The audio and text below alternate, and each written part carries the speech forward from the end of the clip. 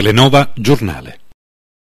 Traffico di somali, eseguite 55 ordinanze di custodia cautelare. L'operazione Boarding Pass ha sgominato un'organizzazione criminale transnazionale. Coinvolte anche la Procura di Modica e la squadra mobile di Ragusa. Santa Croce, Camerina, ricorso elettorale al TAR e in programma domani la sentenza definitiva sull'istanza del candidato a sindaco Giovanni Barone.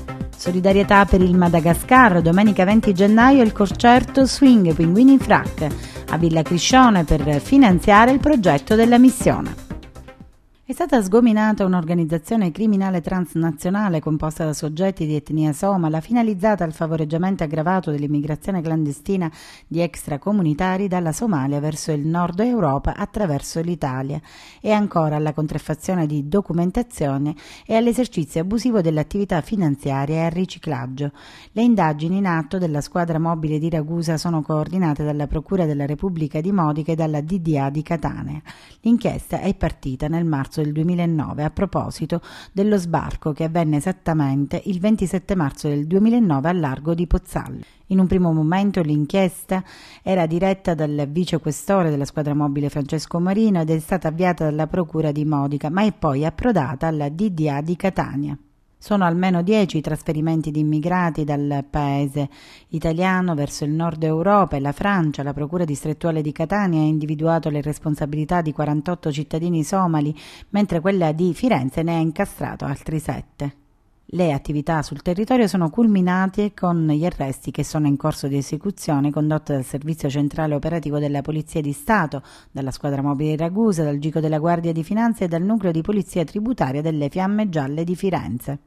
I viaggi dei migranti costavano tra i 15.000 e i 16.000 euro. Secondo il procuratore nazionale antimafia Giusto Sciacchitano, l'inchiesta ha portato a risultati importanti partendo da diversi spunti investigativi, uno sbarco di migranti da un lato, un traffico di rifiuti dall'altro.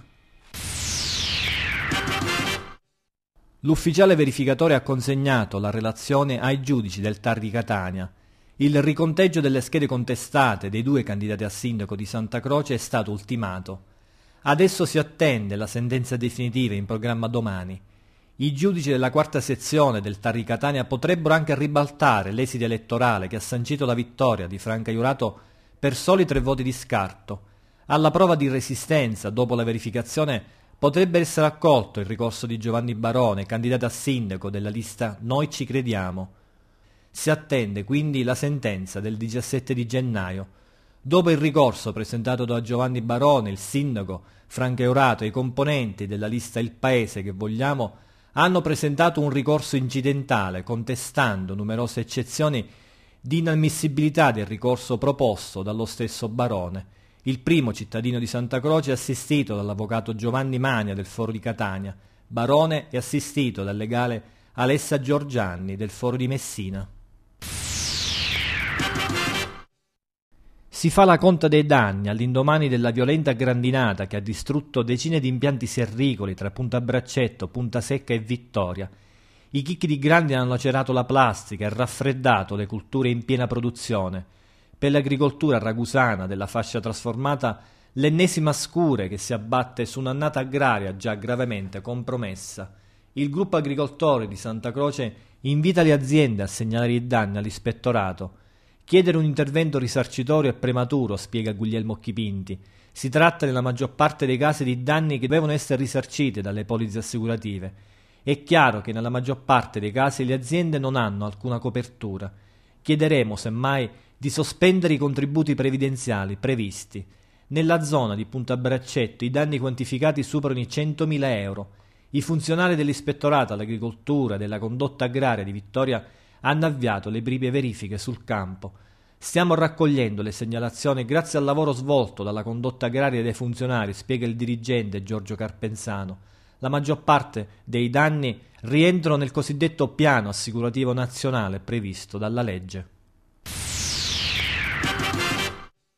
Il comitato Nomuos Parina esprime piena solidarietà agli indigenti del comune di Ragusa che da 21 giorni presidiano l'ingresso del palazzo comunale del capoluogo. Anche noi siamo impegnati da molte settimane a presidiare notte e giorno il cantiere del MUOS Niscemi e sappiamo bene quanto costi in termini di sacrifici garantire la presenza degli attivisti 24 ore su 24.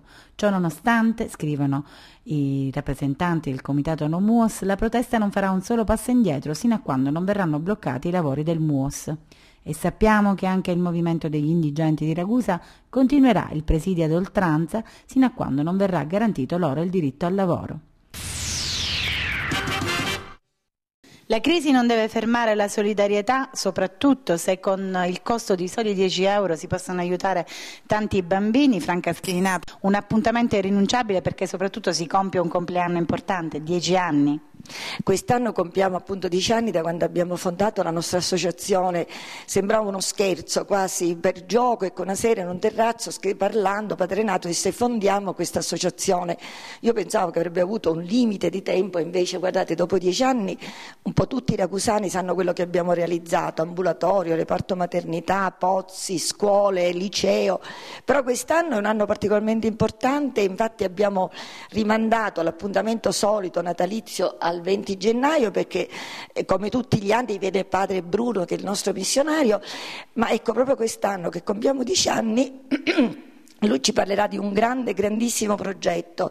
Abbiamo costruito, abbiamo iniziato a costruire un enorme ospedale in una città che si chiama Mahjong, che insomma circa tre ore di strada dalla nostra, dalla nostra missione, quindi servirà diciamo, a tutto il circondario, un ospedale enorme che, quale stanno, per il quale progetto stanno però anche lavorando un gruppo di medici di Modena che sono già lì in loco e soprattutto ortopedici che operano i bambini che per malnutrizione nascono con i piedini storti, hanno problemi. E quindi dire che siamo orgogliosi di un'opera così grande, di un progetto così grande, forse dire poco perché non avremmo mai pensato dieci anni fa di poter realizzare un ospedale del genere. Intanto diamo delle notizie importanti, quindi domenica 20 gennaio a Villa Criscione alle ore 18, 18 sì, inizia il buffet e come sempre c'è anche questo mercatino dell'artigianato sì, malgascio. Certo, c'è il mercatino, anche se non è Natale, però qualche oggettino sempre lo venderemo, c'è un bel gruppo che si chiama Pinguini in Fracchi, li abbiamo già fatti esibire a Catania a Natale, sono molto carini, faranno swing, ma soprattutto, e ripeto, è un, un attimo importante per questo progetto di cui ci parlerà padre Bruno, quindi mi farebbe piacere se lo attorniassimo in tantissimi amici, tantissime persone, perché ha bisogno anche di questo nel suo lavoro. Netta vittoria dell'Oxine Ragusa nel campionato di volle di Serie B contro il Vibo Valencia. La formazione Iblea allenata da Manuel Benassi è attesa dalla trasferta di Catania. Sì, è stato è un buon momento. Eh, venivamo da una sconfitta amara a Trapani perché vincere 2-0, perdere 3-2 con quei parziali e soprattutto eh, perdere un quarto set in vantaggio da, di 6 punti per noi è stata a livello psicologico una batosta e si è visto anche in quest'ultima partita in casa, infatti non eravamo con la testa nella partita. Eh, fortunatamente il Vibo è una squadra di ragazzini eh, con poca esperienza, sono ultimi in classifica eh, e quindi siamo riusciti a spuntarla ugualmente. Adesso però andremo ad affrontare una squadra d'esperienza dove gioca gente come Sudano, come D'Angelo, gente con molta esperienza, quindi sicuramente non ci possiamo permettere di, eh, di affrontare la partita nel modo in cui l'abbiamo affrontato con Vibo. Sì, perché mm, siamo arrivati all'ultima giornata del girone di andata a tre punti dalle prime in classifica questo è un risultato che mm, all'inizio della stagione era assolutamente impensabile. Eh, chiudiamo il giro d'andata con una partita a mio avviso molto difficile perché giochiamo con la um, Coordiner di Catania, è una squadra um, molto rognosa, tanti giocatori di esperienza. Eh, bisognerà vincere a tutti i costi per cercare di sfruttare pure un turno che vede uno, lo scontro diretto tra Leonforte e la Metz, potrebbe anche essere un turno favorevole a noi, potremmo guadagnare qualche punto sulla prima squadra in classifica appunto in Lamezia.